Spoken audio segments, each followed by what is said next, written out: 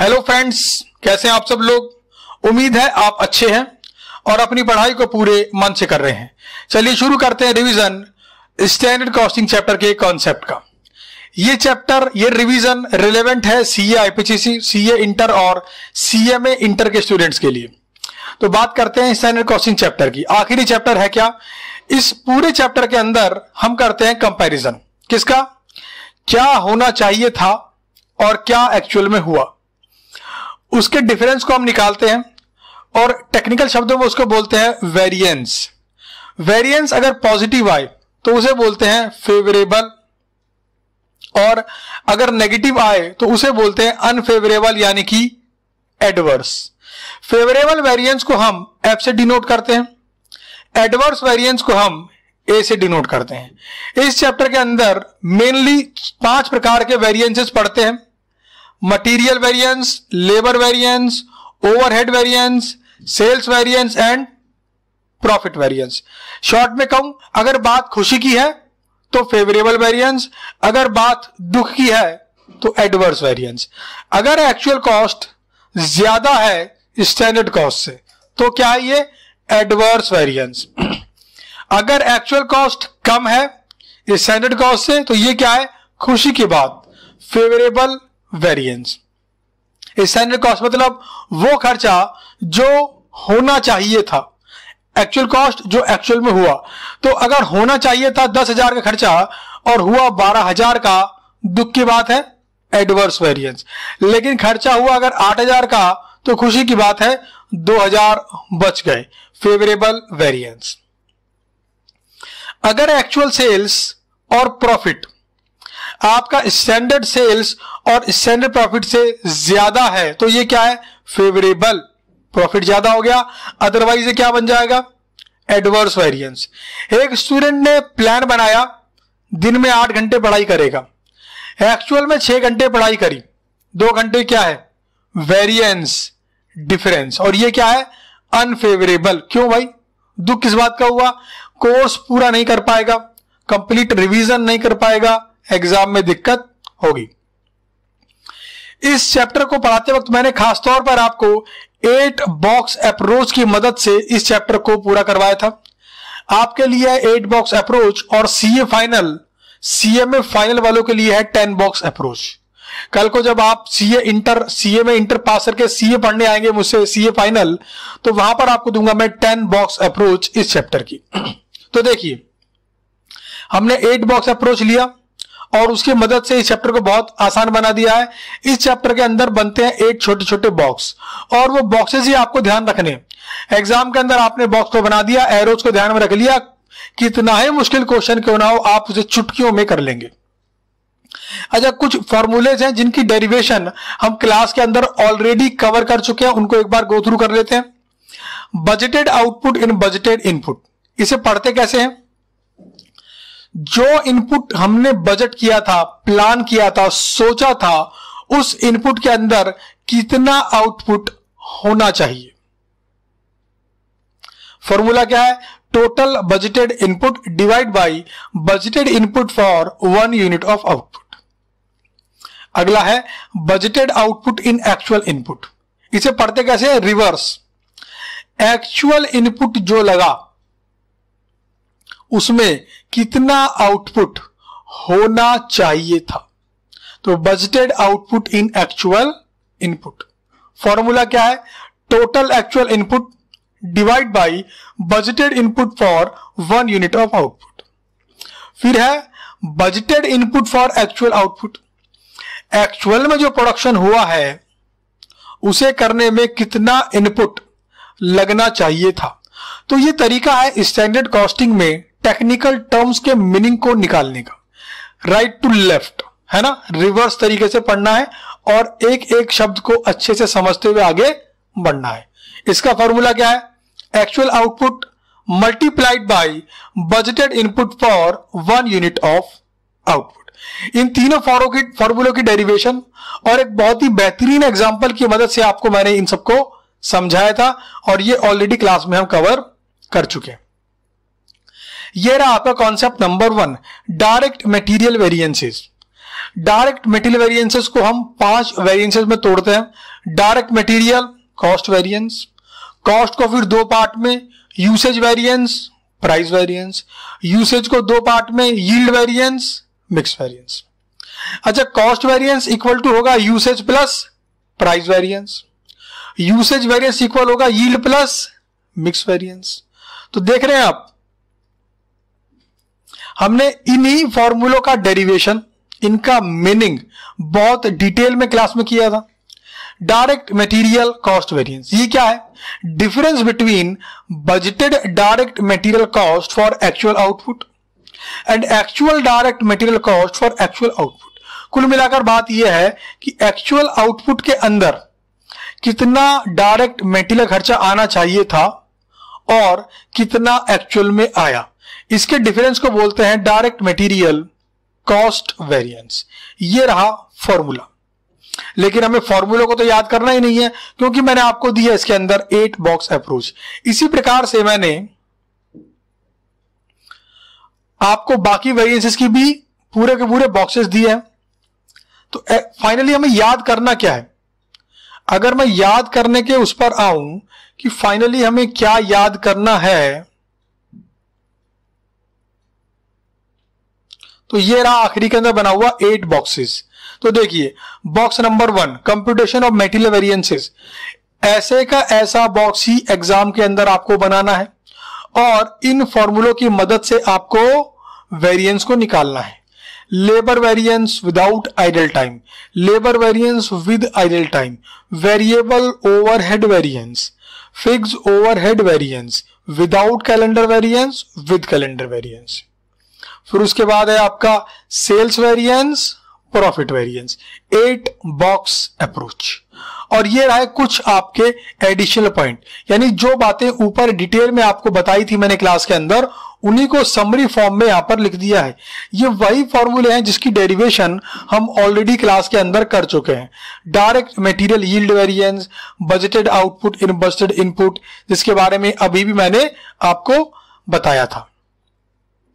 तो हमें अल्टीमेटली याद तो बस ये दो पेज ही करने हैं, जिनकी मदद से हम सारे के सारे वेरिएंसेस को आसानी से निकाल पाएँगे। तो हम कहा थे? हम थे आपके डायरेक्ट मटेरियल वेरिएंसेस के ऊपर। अच्छा यूसेज वेरिएंस ये कब अराइज होगा? जब स्टैंडर्ड मटेरियल क्वांटिटी और एक्चुअल यूज्ड मटेरियल क्वांटिटी क्या होगी? डिफरेंट प्राइस वेरिएंस ये कब अराइज होगा? जब standard price of material and actual price of material different होगा। अच्छा यील्ड और मिक्स वेरिएंस ये कब अराइज होंगे? जब मटेरियल दो तरीके का या दो से ज़्यादा तरीके का यूज़ हो रहा है और साथ ही में स्टैंडर्ड मटेरियल मिक्स रेशियो को फॉलो नहीं किया है एक्चुअल प्रोडक्शन के टाइम इनका जो फॉर्मूला वो कैसे निकालेंगे with the help of boxes तो ये रहा आपका box box number one cost variance M one minus M four usage variance M one minus M three price variance M three minus M four yield variance M one minus M two mix variance M two minus M three अच्छा usage variance के लिए कौन responsible होता है production manager production manager के कान पकड़ लिए जाते हैं। अगर यूसेज में गड़बड़ी आई, ज़्यादा मटेरियल अगर यूज़ हो गया तो प्रोडक्शन मैनेजर की क्लास ली जाती है कि ज़्यादा मटेरियल क्यों यूज़ हो गया? वेरिएंस नेगेटिव क्यों आ रहा है? यूसेज वेरिएंस अच्छा प्राइस वेरिएंस के लिए कौन जिम्मेदार है? परचेज मैनेजर भाई, जब बता रखा है कि मार्केट में आपको दस रुपए पर केजी के हिसाब से मटेरियल मिलेगा तो फिर आप ग्यारह रुपए के हिसाब से क्यों लेकर आ गए? तो इसके लिए कौन जिम्मेदार है? परचेज मैनेजर तो जब भी नेगेटिव वेरिएंस आता है तो रेस्पेक्टिव मैनेजर या डीलिंग पर्सन को पूछा जाता है कि ये वेरिएंस नेगेटिव क्यों आया? अगर रीजन जस्टिफाइड है, माफ़ कर देते हैं। रीजन अगर जस्टिफाइड नहीं है तो कुछ ना कुछ पेनल्टी पड़ती है। वो कंपनी टू कंपनी वेरी करती है। अच्छा जी। अगर पॉजिटिव वेरिएंस आ गया तो? अगर पॉजिटिव वेरिएंस आ गया तो फिर दोबारा से ढूंढा जाता है उस बंदे को जिसकी वजह से पॉजिटिव वेरिएंस आया है। उसे क्या मिलती है? मिठाइयाँ, तोहफे दिए जाते हैं उसको। उसको प्रमोट कर दिया जाता है। सैलरी बढ़ा दी जाती है। दो तीन दिन का कोई टूर दे देते हैं, उसको जाओ, घूम कर आओ, मज़े करो। तो वेरिएंसेस को निकालने का ऑब्जेक्टिव है कि वेरिएंसेस को एक स्टैंडर्ड कॉस्ट को एक तो ऊपर ना जाने दें। मतलब एक्चुअल कॉस्ट हमेशा स्टैंडर्ड कॉस्ट से या तो कम रहे या मैक्सिमम बराबर रहे। इससे ऊपर ना चली जाए। और वेरिएंस पॉजिटिव आया तब पॉजिटिव आया तो मज़े आ गए, कंपनी का प्रॉफिट बढ़ जाएगा। कॉन्सेप्ट नंबर टू है आपका material price variance at the time of purchase कई बार क्वेश्चन के अंदर आता है कि भैया निकालो direct material price variance at the time of purchase ध्यान देना, जो प्राइस वेरिएंस मैंने अभी आपको बॉक्स नंबर वन के अंदर निकालना सिखाया वो और ये डिफरेंट है। यहाँ पर हम मेटीरियल परचेज प्राइस वेरियंस को निकालते वक्त एक्चुअल क्वांटिटी परचेज का इस्तेमाल करते हैं, जबकि बॉक्स नंबर वन में हम actual quantity utilised used consumed कह लीजिए, इसका इस्तेमाल करते हैं। कुल मिलाकर बात यह है कि अगर हमें एक्चुअल एक्चुअल क्वांटिटी कंज्यूम के बदले लिख दिया एक्चुअल क्वांटिटी परचेज तो वो बन जाता है material price variance at the time of purchase ये आ गया आपका direct material yield variance concept number तीन. यील्ड वेरिएंस निकालना. बॉक्स से निकालेंगे. लेकिन इसको निकालने का एक ऑल्टरनेटिव मेथड भी है. कॉन्सेप्ट नंबर तीन में जो आपको बताया है. तो डायरेक्ट मेटीरियल यील्ड वेरिएंस आप चाहे उससे निकालो, चाहे ऑल्टरनेटिव मेथड से निकालो. आंसर क्या आने वाला है? सेम इस फॉर्मूले की कंप्लीट डेरिवेशन क्लास के अंदर समझाइए मैंने आपको. फाइनली फॉर्मूला क्या है? Sum of M one M one मतलब एम वन मतलब ये S P into S Q A O अच्छा इसे मैंने कैसे याद कराया था आपको? S P S P S P A P A Q A Q R S Q S Q A O तो ये तरीका है बॉक्सेस की हेडिंग को याद करने का। चलिए जी। तो ये रहा आपका डायरेक्ट मटेरियल यील्ड वेरिएंस अब इसके बाद बात करते हैं कॉन्सेप्ट नंबर चार labour variances direct labour variances बिल्कुल सेम है। बस यहाँ पर इसे दो केस में डिवाइड करा है, एक विदाउट आइडल टाइम और एक विद आइडल टाइम। विदाउट मतलब वर्कर ने जितने घंटे काम किया, उतने घंटे के लिए पेमेंट मिली। विद आइडल का मतलब वर्कर को 10 घंटे के लिए पेमेंट की गई, लेकिन काम करा सिर्फ़ आठ घंटे। दो घंटे क्या कर रहा था? टाइम पास तो अगर क्वेश्चन के अंदर आइडल टाइम है तो केस नंबर टू में आएगा, वरना केस नंबर वन में आएगा। Idle time case number one without idle time labour variances case number one labour cost variance labour efficiency variance labour rate variance labour yield variance and mix variance direct labour cost variance हमेशा efficiency plus rate variance के बराबर होगा। Efficiency variance हमेशा yield plus mix variance के बराबर होगा। Direct labour cost variance कब arise होगा? जब टोटल स्टैंडर्ड लेबर कॉस्ट और एक्चुअल लेबर कॉस्ट डिफरेंट होंगे। एफिशिएंसी वेरिएंस कब अराइज होगा? जब वर्कर ने काम एफिशिएंटली नहीं किया, या कुछ ज़्यादा ही एफिशिएंटली कर दिया, यानी उसी काम को करने में ज़्यादा समय लगा दिया या कम समय लगाया? रेट वेरिएंस वर्कर को दी जाने वाली स्टैंडर्ड वेज रेट और एक्चुअल वेज रेट में अगर डिफरेंस है तो इसकी वजह से आएगा डायरेक्ट लेबर रेट वेरिएंस और निकालना हो यील्ड और मिक्स वेरिएंस तो वही कंडीशन है। एक काम को करने में दो तरीके की लेबर या दो से ज़्यादा तरीके की लेबर लगी और साथ ही साथ स्टैंडर्ड लेबर मिक्स रेशो को फॉलो नहीं किया गया है। तो उस केस में क्या निकलेगा? यील्ड एंड मिक्स वेरिएंस ये रहा आपका अगला बॉक्स कैसे याद किया था हमने? S R S R S R A R फिर A H A H R S H and S H A O तो ये है लेबर वेरिएंसेस चलिए जी। अब कॉस्ट वेरियंस कैसे निकालेंगे हम? L one minus L four efficiency variance L one minus L three rate variance L three minus L four yield variance L one minus L two mix variance L two minus L three चलिए। अब case number two when worker sit idle यानी with idle time worker को payment करी गई दस घंटे के लिए, आठ घंटे काम करा, दो घंटे बातें करता है और पेमेंट लेकर गया। इस केस में लेबर वेरियंस छह प्रकार के हो जाते हैं। Cost variance efficiency variance idle time variance rate variance efficiency को फिर दो पार्ट में तोड़ते हैं यील्ड वेरियंस और मिक्स वेरियंस इसकी टेबल में बनेंगे छह column S R S R S R S R A R फिर A H P A H P A H W R S H S H A O standard hours for actual output her labour के लिए अलग अलग निकालेंगे। Total को बोलेंगे L1, L2, L3, L4, L5 ये formula cost variance L1 minus L5 efficiency variance L1 minus L three idle time variance L3 minus L four ये हमेशा क्या होगा? एडवर्स। आइडल टाइम हमेशा एडवर्स ही होगा, कभी फेवरेबल नहीं आ सकता। चलिए, rate variance L4 minus L5 yield variance L1 minus L2 mix variance L2 minus L3 अगला कॉन्सेप्ट लेबर एफिशिएंसी रेशियो क्या होता है formula standard hours divide by actual hours multiplied by सौ।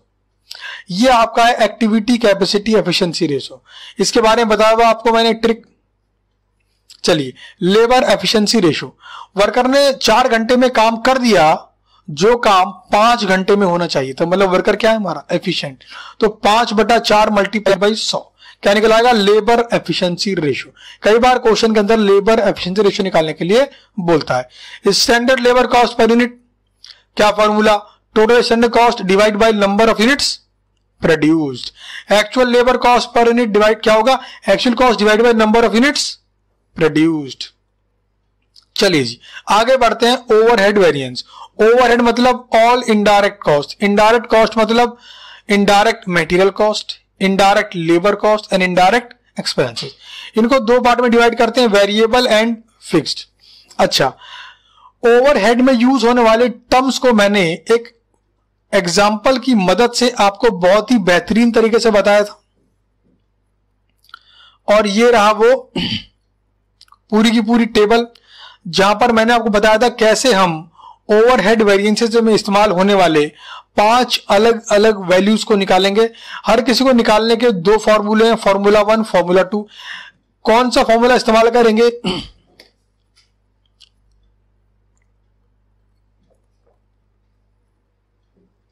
कौन सा फॉर्मूला इस्तेमाल करेंगे? यह डिपेंड करता है कि क्वेश्चन में क्या इंफॉर्मेशन दी हुई है। आउटपुट एब्जॉर्ब ओवरहेड को निकालने के दो फॉर्मूले हैं। एक फॉर्मूला है actual output multiplied by budgeted overhead per unit दूसरा है hours for actual output multiplied by budgeted overhead per hour यह फॉर्मूला ऐसा क्यों बना? इसकी डेरिवेशन क्लास में हमने कवर कर रखी है। इनपुट एब्जॉर्ब ओवरहेड फॉर्मूला क्या है?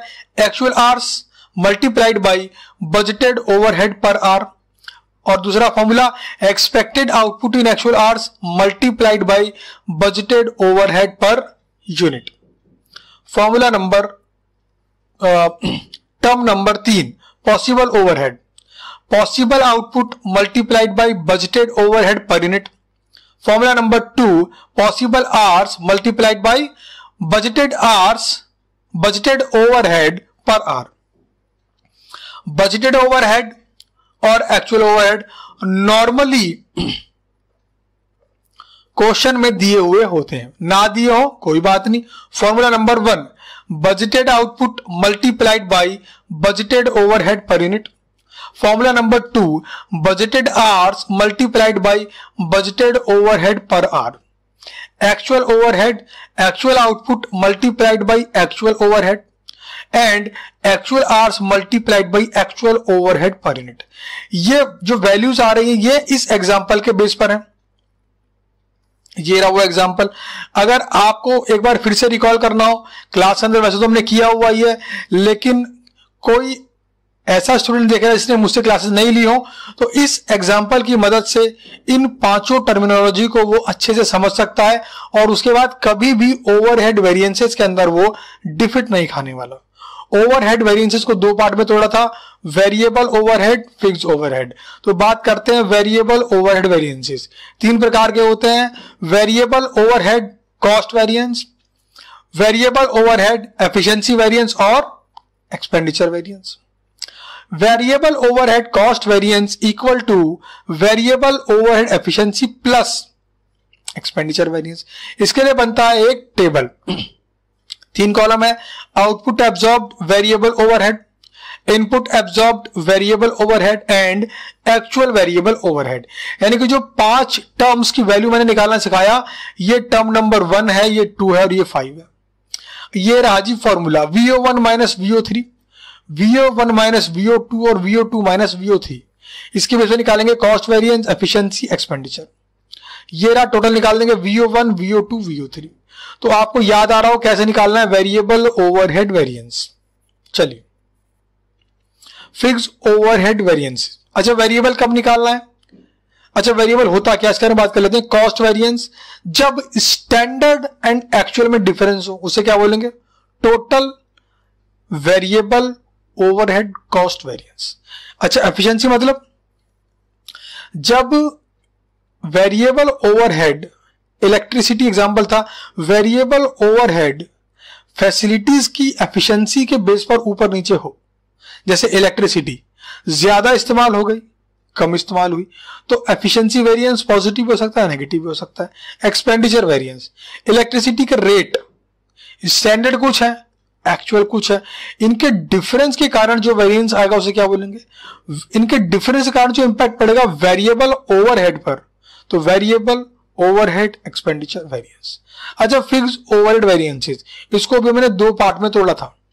Without calendar variance and with calendar variance जब क्वेश्चन के अंदर इंफॉर्मेशन दे रखी हो बजटेड डेज़ और एक्चुअल डेज़ के बारे में, तब ये क्या है? कैलेंडर वेरिएंस में कैलकुलेट होगा. कैलेंडर वेरिएंस में जाएगा? तो ये अगले केस में कवर्ड है. ठीक है? चलिए. तो पहले बात करते हैं case number one without calendar variance तो fix overhead cost variance volume variance expenditure variance efficiency and capacity cost variance को दो पार्ट में तोड़ा है। एक्सपेंडिचर एंड वॉल्यूम फिर वॉल्यूम को दो पार्ट में तोड़ा है। Efficiency and capacity fix over cost variance equal to volume variance plus expenditure variance और volume variance equal to efficiency plus capacity variance तो ये आपका फिक्स ओवरहेड वेरिएंसेस ये रही आपकी टेबल चार वैल्यूज़ आएँगी. Output absorbed fix overhead input absorbed fix overhead budgeted fix overhead and actual fix overhead जो पाँच टर्म्स मैंने आपको बताए थे ओवरहेड वेरिएंस को निकालने के लिए। ये पहला है, ये दूसरा है, ये चौथा और ये पांचवा है। ये रहे फॉर्मूले cost variance F O one minus F O four cost variance F O one minus F O four फिर उसके बाद volume variance F O one minus F O three फिर expenditure variance F O three minus F O four efficiency variance one minus two capacity variance two minus three अगला case fix overhead variances with calendar variance जब question के अंदर आपको budgeted days और actual days की information दे रखी हो तो इस केस के अंदर आपके वेरिएंस में कैलेंडर वेरिएंस भी ऐड हो जाता है। तो fix over cost variance equal to volume variance plus expenditure variance अच्छा volume variance equal to efficiency plus capacity plus calendar variance fix overhead variance with calendar variance की ये रही आपकी table output absorbed fixed overhead. Input absorbed fixed overhead. Possible fixed overhead. Budgeted fixed overhead. And actual fixed overhead. Fo 1 2 3 4 5 cost variance fo1 minus fo5 volume variance F O one minus F O four expenditure variance F O four minus five efficiency variance one minus two capacity variance two minus three and calendar variance three minus four यहाँ पर मैं बहुत detail में नहीं जा रहा हूँ। आपको सिर्फ़ फॉर्मूला रिकॉल करवा रहा हूँ। तो आपको वो आखिरी के दो पेज जो उसमें दिखाई दे, भी आपको बस वही याद रखने हैं। चलिए, आगे बढ़ते हैं। फिर इसके बाद था सेल्स वेरियंस सेल्स वेरियंस में क्या क्या वेरियंस है? सेल्स वैल्यू वेरियंस फिर वॉल्यूम वेरियंस प्राइस वेरियंस में तोड़ते हैं। वॉल्यूम को दो पार्ट में तोड़ते हैं quantity and mix variance sales value variance ये कब अराइज होगा? जब बजटेड सेल्स वैल्यू और एक्चुअल सेल्स वैल्यू में डिफरेंस होगा तो क्या आएगा? वैल्यू वेरियंस अच्छा जब ड्यू टू वॉल्यूम डिफरेंस आएगा तो बोलेंगे वॉल्यूम वेरियंस जब ड्यू टू प्राइस यानी सेलिंग प्राइस डिफरेंस आएगा तो बोलेंगे selling price variance quantity and mix variance वही कहानी।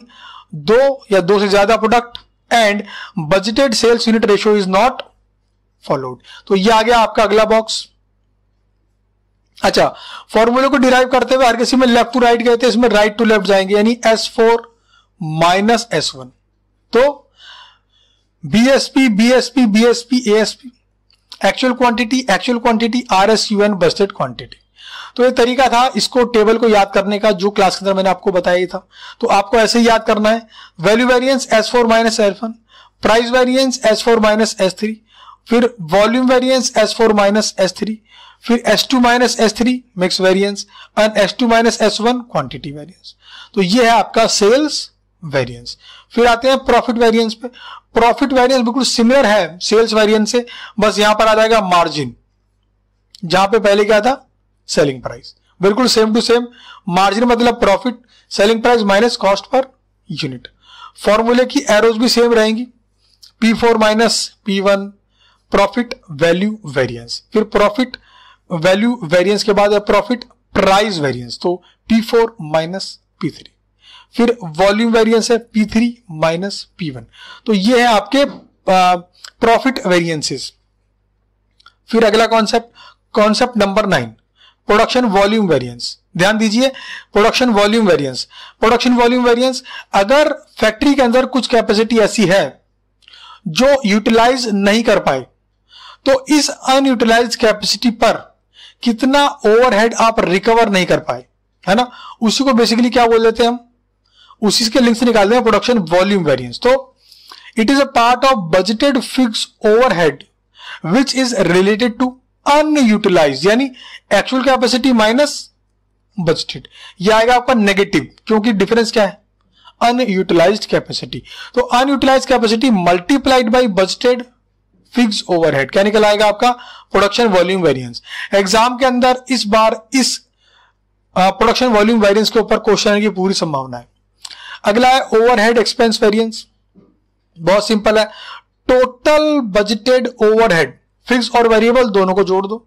और actual overhead cost fixed variable दोनों को जोड़ दो। दोनों के फिर डिफरेंस निकालो, उसे बोलते हैं ओवरहेड एक्सपेंस वेरियंस अच्छा जी। बजटेड ओवरहेड को निकालने का फॉर्मूला क्या है? Budgeted fixed overhead for budgeted production capacity plus budgeted variable for actual production capacity concept number 11 था reconciliation of standard cost and actual cost ये तो बड़ा सिंपल है। कोई भी कॉस्ट लो स्टैंडर्ड लो एक्चुअल लो एडवर्स और फेवरेबल प्लस माइनस करते जाओ, निकल आएगा आपका रिकंसिलेशन कुल मिलाकर आखिरी में आ गई आपकी ये टेबल्स जो आखिरी के पेज में दे रखी है। आपको बस इन्हीं टेबल्स को याद करना है और इन्हीं फॉर्मूलों को याद करना है। एग्ज़ाम के अंदर आपको टेबल को बना देना है और एरोज की मदद से फॉर्मूले को रिकॉल करना है। कैसे?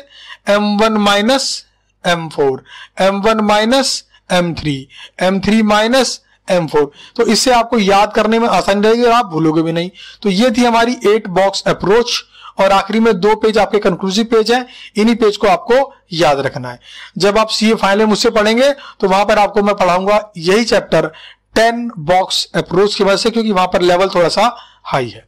तो ये हो गया हमारा स्टैंडर्ड कॉस्टिंग चैप्टर के कॉन्सेप्ट का कंप्लीट रिवीजन चलिए मिलते हैं आपसे अपनी अगली वीडियो के अंदर। Thank you